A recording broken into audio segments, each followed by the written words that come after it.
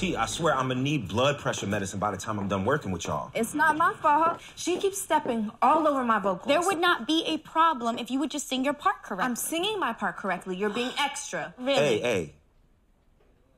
What is this beef really about? I'll tell you what it's about. You stole my song last time, and now she wants to turn around and steal my duet. No, that's not what happened.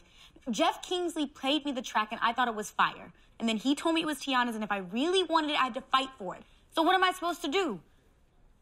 I'm the new girl. Eddie used to play all these same games, always comparing me to somebody else. Christina's vocals are bigger than yours. Beyonce's moves are better than yours. I couldn't even make it out of the hospital before he told me lose the baby weight. Mm. Damn near made me hate myself.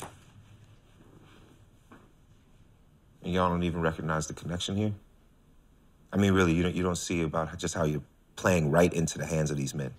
I love you, Mom, but what makes you any different right now? For real. You are just another industry man telling two women what to do. The same old thing. Okay, you know what? I, I'm, I'm gonna, I'm gonna receive that.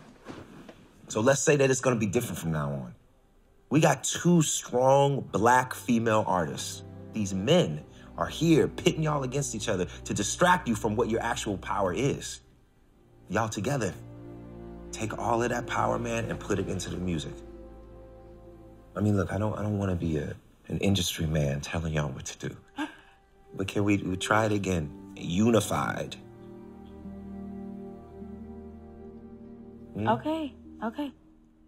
All right. Thank you, Trinket. Oh my. Y'all stop with that? You like that one, don't you? Hey, You're jeez. professional. All right.